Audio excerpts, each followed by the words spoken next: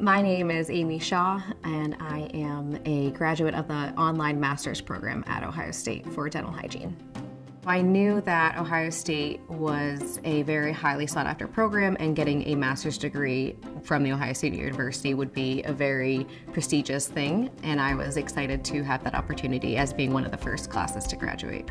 I always wanted to get into education, and specifically where I chose to delve myself into was dental hygiene education, that I really was able to procure this foundation for what I really wanted to do, which was teaching. I was able to work full time while I was doing the program. So I worked in full time clinically in dental hygiene is about 36 hours a week. We did have some meetings that we had to attend at certain times, but it never was a problem to be able to work around. The Ohio State Master's Program did a great job at trying to develop a community even through a online platform. So we had lots of synchronous meetings where we were live video chatting with my classmates. So even though I was in New Jersey and a lot of the classmates at the time were in Ohio, but we were all online, we all knew each other. We all met at graduation at the end of our master's program and felt like we knew each other, even though we had never really met each other in person.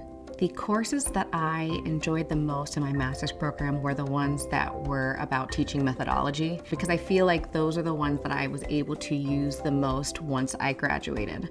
I was able to get a adjunct teaching position at a local college and I feel like because of the courses that I took in the master's program, I just got a great foundation for how to teach.